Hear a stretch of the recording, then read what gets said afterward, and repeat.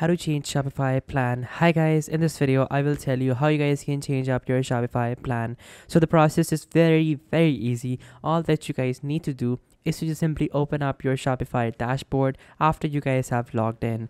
Then from over here, simply click on the bottom left on settings and then after that, you guys are going to basically see all of your settings. Now click on plan and then from over here, you guys are basically going to be able to see your Shopify plans. So over here, if you are in a trial version, you guys are going to see trial over here. If you guys are using their basic plan, you guys are going to see your basic plan over here.